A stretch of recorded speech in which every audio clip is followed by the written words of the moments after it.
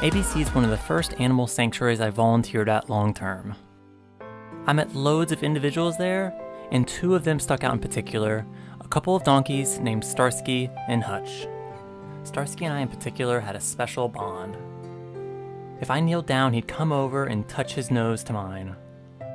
Over time, we got to know each other, and if I wasn't at the sanctuary for a while, he'd come over, give me a few smells to make sure he knew who I was, and then nuzzle into me.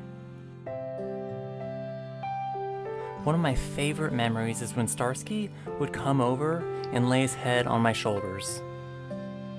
He'd even wrap his head and neck around mine. Even though he was much bigger than me, he was very gentle. Hutch would join in sometimes too. I always try to let the other animals choose to interact with me. This has led to some special memories I won't soon forget.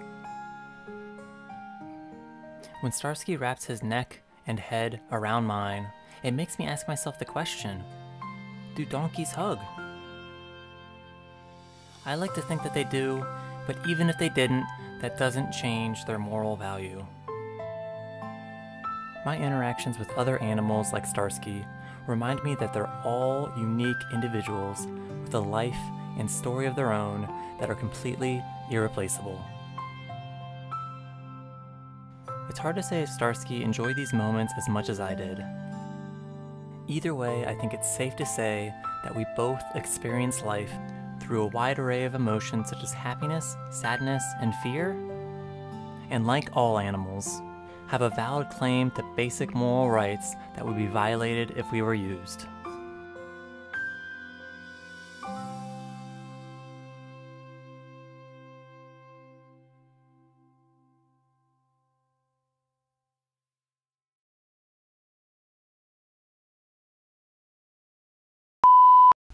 You want to interact, eh? You are trouble.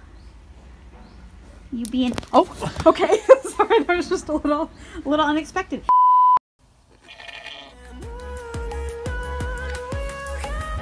Thanks for watching, and for free resources such as a discussion guide and language document, check out veganinteractions.com. Thanks for watching.